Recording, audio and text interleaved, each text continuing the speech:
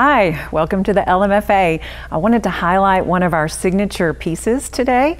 Uh, this is by Jean Cappadonna Nichols, and this piece is called Considering Genetically Altered Foods. This is one of the museum's signature pieces. I love it. Uh, we affectionately call it Rabbit Head.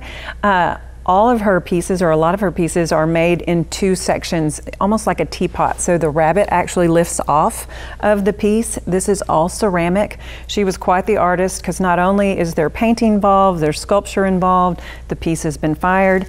So I think this piece is um, very timely if you think about what we're all going through right now.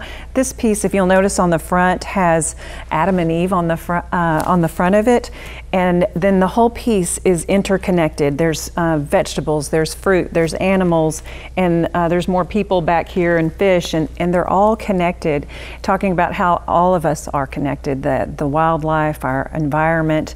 Um, so, considering genetically altered foods um, is a statement on basically GMOs. So the rabbit has eaten some uh, lettuce or something that's been sprayed with uh, insecticides, and so he's growing some growths and things like that. There's a on the back side. There's a, a, a corn growing out of a banana peel. It's got an eye.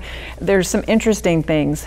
Also, we had a, a kids tour, uh, school tour the other day, and the kids were just fascinated with this piece, and they were like, "It looks like she's praying. It looks like she's praying for our environment. She's kind of in a kneeling position." They said, "This looks like knees," and so that's one of the wonderful wonderful things that art can do is inspire conversation and dialogue. They say art reflects life, or does life reflect art? You know, that, that's a conversation in itself.